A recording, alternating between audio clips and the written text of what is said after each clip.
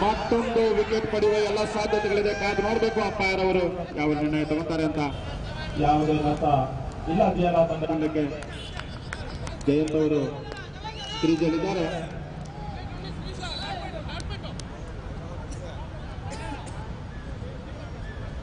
ಹೇಮಂತ್ ಅವರ ಕೊನೆಯ ಎಸೆತ. ಇಪ್ಪತ್ತಾರು ರನ್ನು ಇದುವರೆಗೂ ಜಿಯಲ ತಂಡ ಪಡೆದಿರುತ್ತೆ. ತನ್ನ ನಾಲ್ಕು ವಿಕೆಟ್ ಕಳೆದುಕೊಂಡು.